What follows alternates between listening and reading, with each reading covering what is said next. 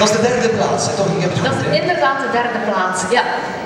Op het podium van Young Miss Fashion 2015, de second runner-up, Hanne. En dan krijgt ze haar lintje en haar kroontje. Uit handen van de second runner-up van vorig jaar. First runner-up, dus de tweede plaats.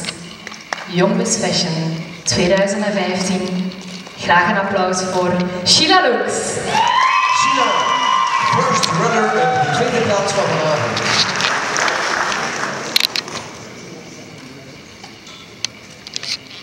Ja, het kroontje dat komt ook. En de kussen natuurlijk.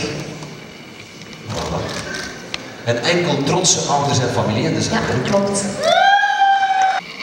Young Miss Fashion 2015 is geworden. Mag ik uw applaus voor Dilina Haak? Divina, Young Miss Fashion 2015.